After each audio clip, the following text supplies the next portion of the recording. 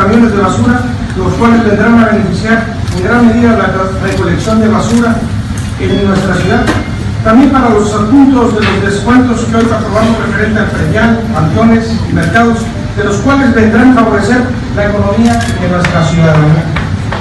De igual manera, por aprobar este importante paquete de seis obras de pavimentación de calles y tres obras de rehabilitación hidrosanitaria, los cuales sumarán más de 7 millones de pesos.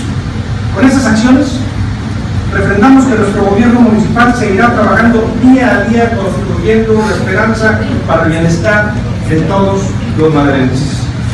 Gracias, presidente.